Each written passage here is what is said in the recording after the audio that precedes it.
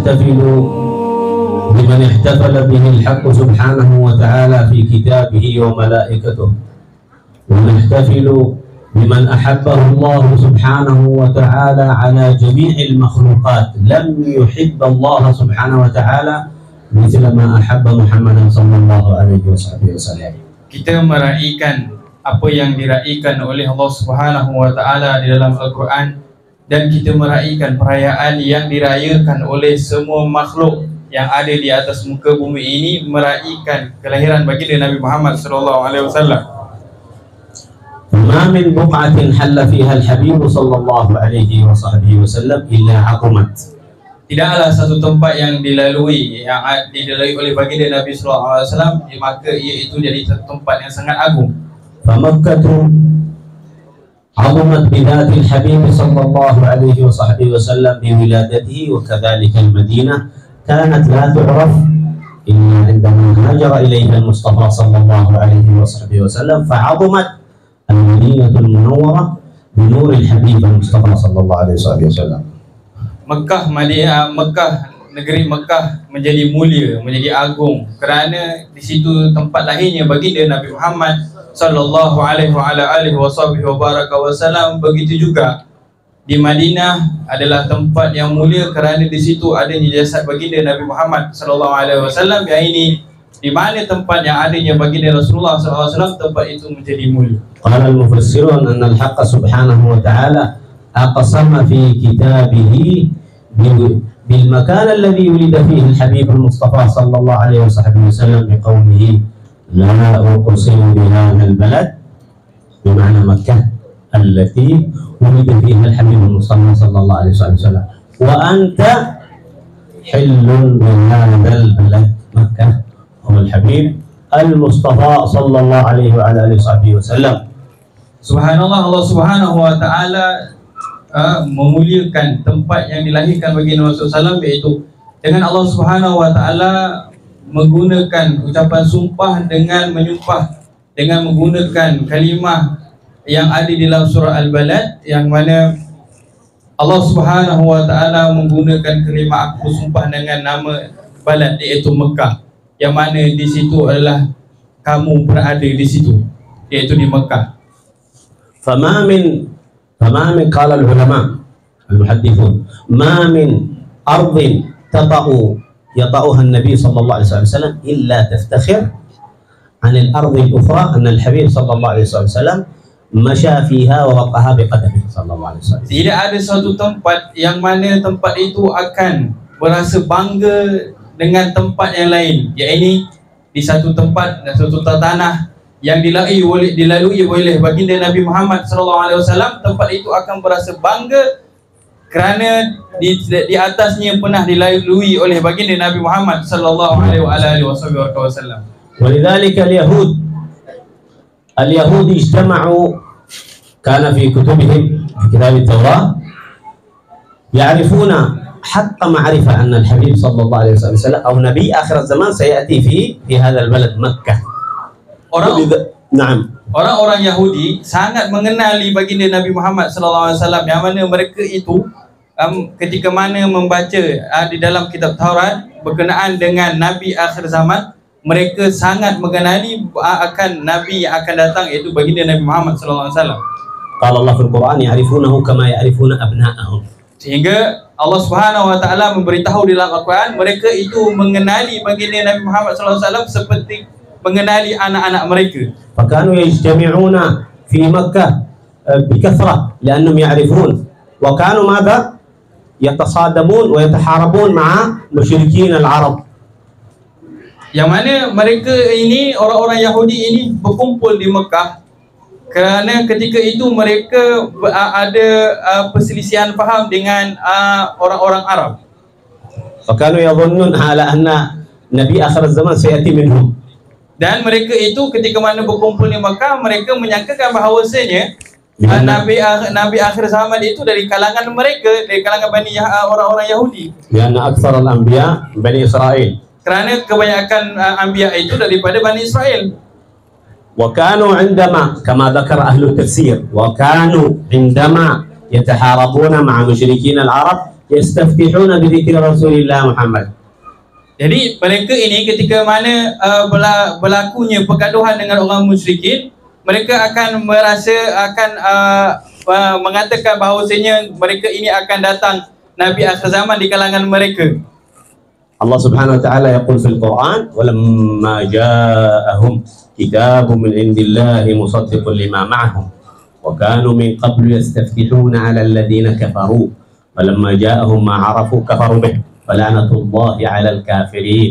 قال العلماء والمفسرون كانوا يقولون يا الله بنبي آخر الزمان بمحمد نستفتح. وكانوا يفتحون يستفتحون على يديه ببركة النبي صلى الله عليه وسلم وهو يهزمون مشركين العرب. Ya ini dalam ayat tersebut uh, kata ulama ketika mereka mentafsirkan ayat tersebut mereka orang-orang Yahudi ini mengharapkan kemenangan dengan baginda Nabi Muhammad SAW. Ya ini mereka menginginkan memohon keberkatan Nabi Muhammad SAW agar mereka ini menang berlawan dengan orang-orang kafir uh, orang-orang musyrikin Arab. فالاحتفال برسول الله صلى الله عليه وعلى آله وصحبه وسلم له شأن عظيم Merayakan, meraihkan kelahiran bagi Nabi sallallahu alaihi wasallam itu mempunyai sesuatu keadaan yang sangat mulia dan sangat agung. لذلك كان يقول الإمام القسطلاني من كبار الأئمة المحدثين والمقرئين الإحتفال برسول الله صلى الله عليه وصحبه وسلم أمان في ذلك العام فإذا أردت الأمانة لك ولأهلك فاحتفل برسول الله في بيتك Al-Imam Qastalani ketika mana menyatakan bahawasanya uh, merayakan uh, merayakan baginda Nabi Muhammad sallallahu alaihi wasallam itu akan diberikan keamanan setahun.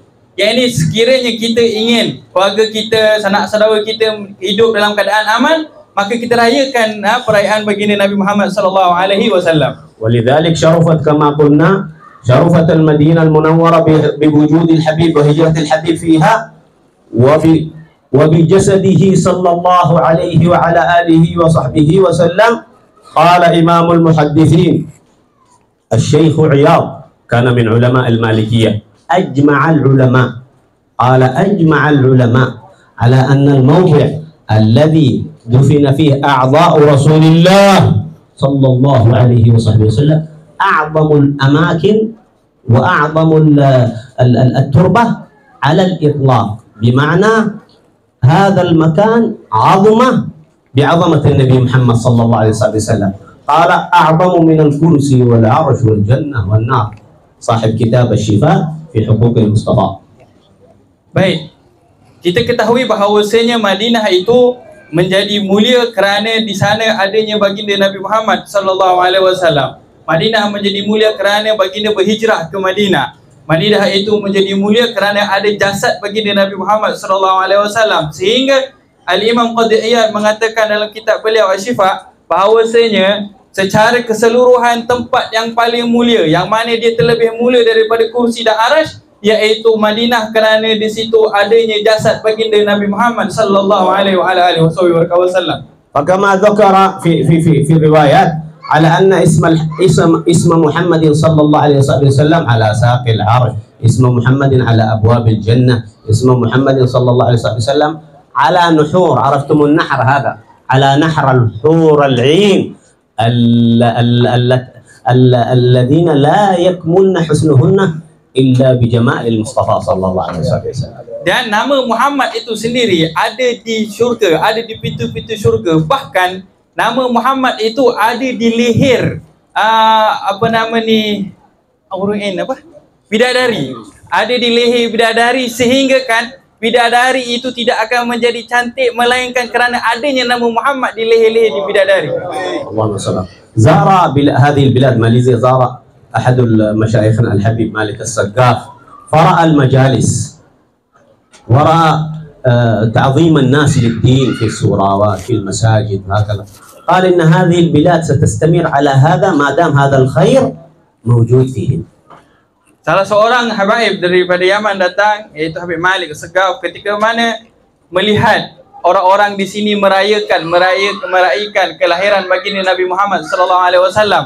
Beliau mengatakan selama mana majlis ini dijalankan diteruskan selama itulah kebaikan akan ada dan sentiasa ada pada umat dan penduduk di negara ini. Qala qala ahadu qala ahadu salihin wallahi law ya'lamun nas kaifa farah ahli as-sama' بإحتفالك برسول الله لعملنا كل يوم مولد كما قال صاحب الديبعي ولو أن عملنا كل يوم لأحمد مولدا قد كان واجب لما لما لما يهتز العرش وال وال والسماوات العلى بفرح بفرح أهل الأرض بمحمد صلى الله عليه وسلم. Penduduk langit ni ka- mengatakan bahawasanya kalaulah mereka penduduk bumi ni mengetahui betapa dahsyatnya kemuliaan dan pemberian yang Allah Subhanahu Wa Taala berikan ketika mana meraihkan uh, kelahiran baginda Nabi Muhammad sallallahu alaihi wasallam pasti dia akan meraihkan sepanjang sepanjang tahun. Bahkan Imam Debai mengatakan kalaulah uh, uh, meraihkan itu adalah uh, uh, mendapat apa nama ni Ah, walau anna amilna kulla yawmin li ahmad ah, maulidan qad kalau dah kami ini uh, boleh melaik merayakan uh, iaitu menaikkan kelahiran Nabi sallallahu alaihi wasallam itu bahkan uh, ia adalah satu kewajipan. Kalau orang tahu dari segi uh, dia punya kemuliaan itu bah, mesti dia cuba untuk mewajibkan dirinya untuk meraihkan baginda Nabi Muhammad sallallahu alaihi wasallam. Alal ulama yakfi fi ihtifal bi Rasulillah au fi dhikr Rasulillah sallallahu alaihi wasallam. أنك تقتدي بالله سبحانه وتعالى وبملائكته الذين هم يصلون على الحبيب صلى الله عليه وسلم. قال العلماء الله سبحانه وتعالى قيد يعني جعل عند قبر رسول الله صلى الله عليه وسلم سبعون ألف ملك يصلون على الحبيب صلى الله عليه وسلم. فإذا جاء الليل ارتفع وجاء سبعون ألف ملك إلى يوم القيامة. فأنت تصلي على رسول الله تقتدي به Cukup kita mengikut na apa yang Allah Subhanahu wa taala perintahkan kepada kita iaitu dengan Allah Subhanahu wa taala memulakan baginda Allah Subhanahu wa taala memulakan dengan berselawat ke atas Nabi Muhammad Allah. sallallahu alaihi wasallam dan para malaikat juga berselawat ke atas baginda Nabi Muhammad sallallahu alaihi wasallam. Cukup kita mengikut akan perintah yang Allah Subhanahu wa taala itu adalah suatu kemuliaan yang mana Allah Subhanahu wa taala berikan kepada kita. ولذلك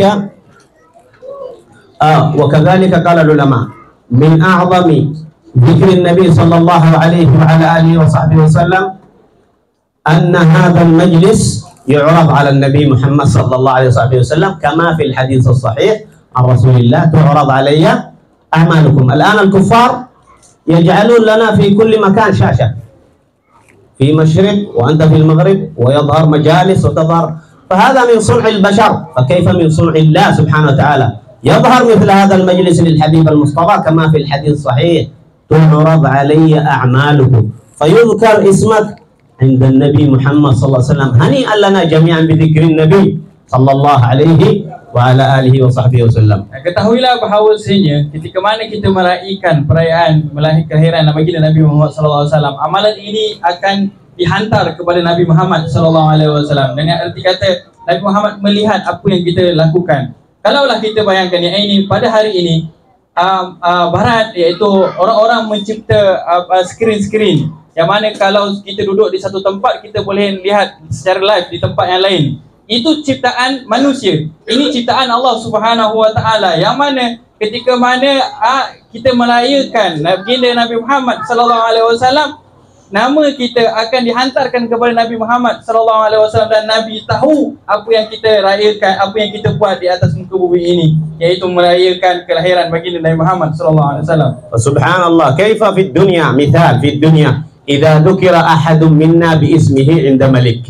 Um, al-yawm dhakaru ismak 'inda al-malik. Satantashi wa satafrah wa satatini al-hadaya wa, wa af'al af'al hadha fid dunya.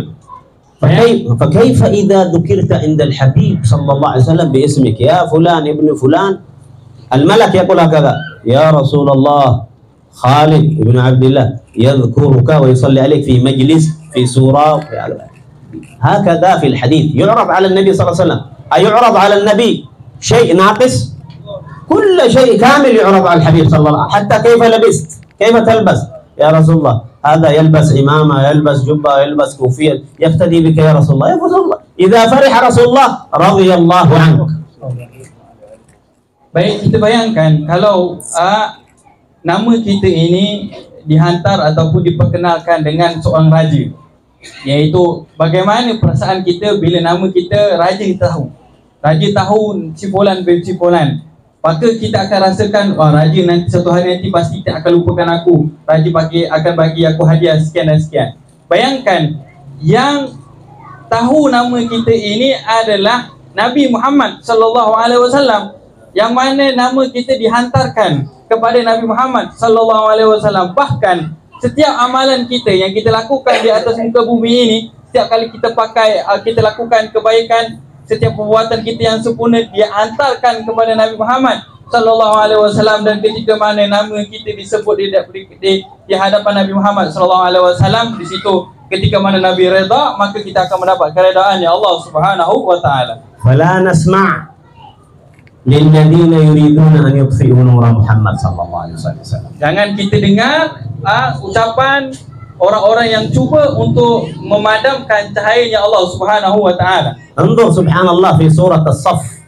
الله يقول في كتابه العزيز وإذ قال عيسى ابن مريم يا بني إسرائيل إني رسول الله إليكم مصدقا لما بين يدي من التوراة ومبشرا برسول يأتي من بعد اسمه أحمد.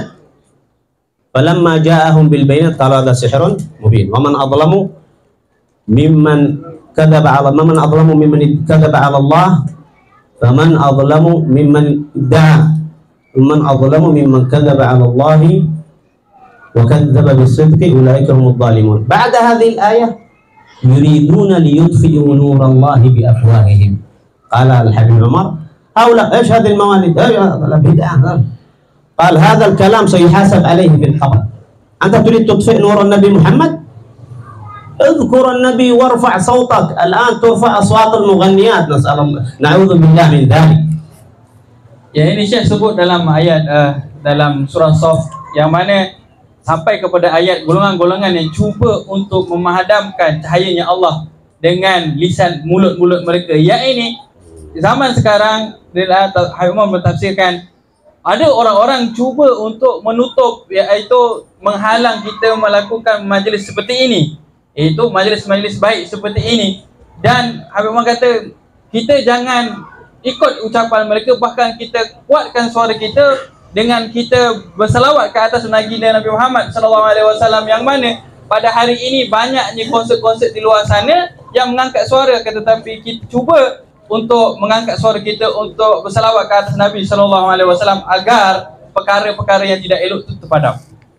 Walakin la alaikum. Allah Subhanahu wa taala fi nafsi al-ayah yaqul wallahu mutimmu nuri walau kariha al-kafirun. هو الذي أرسل رسوله بالهدى ودين الحق ليظهره ولو كره المشركون. أنت تكفر بالنعمة أعظم نعمة نعمة وجود النبي محمد. سيدنا موسى يقول يا رب اجعلني من من أمة النبي محمد. وهو من أولي العزم لما يرى من فضائل أمة النبي محمد صلى الله عليه وسلم. فاحمد الله على ذلك.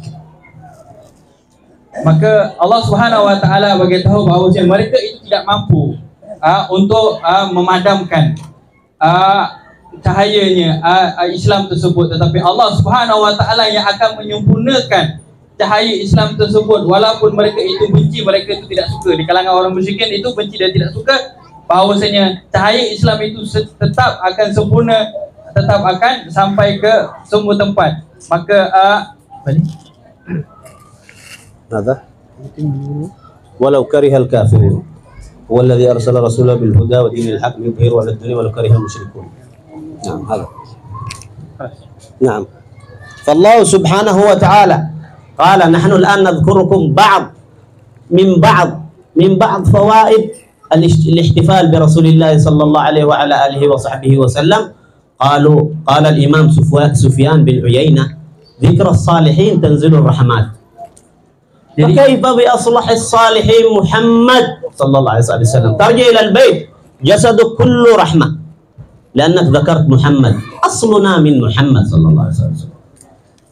Baik, di sini tadi kita ceritakan sedikit kelebihan uh, berkenaan dengan menyambut uh, merayakan kelahiran baginda Nabi Muhammad sallallahu alaihi wasallam. Satu orang ulama Sufyan al-Thawri mengatakan uh, ketika mana seseorang itu menyebut menceritakan tentang orang-orang soleh maka diturunkan rahmat di tempat tersebut dan bagaimana yang kita ceritakan ini adalah orang yang ketua kepada orang-orang soleh sudah pasti rahmatnya melimpah ruah ونسأل الله سبحانه وتعالى أن يقبلنا جميعا وأن يقبل بوجهه الكريم علينا بجاه الحبيب المصطفى صلى الله عليه وصحبه وسلم جاء ذلك الأعمى إلى رسول الله يا رسول الله ادعو الله لي يرد بصري رسول الله قادر أن, أن, أن, أن يضع يديه و ويشفى بإذن الله لأنه صاحب المعجزات. قال له إذا توضأ ثم ائتني وقل اللهم إني أتوسل إليك بنبي الرحمة. يا محمد هذا بالحديث الصحيح.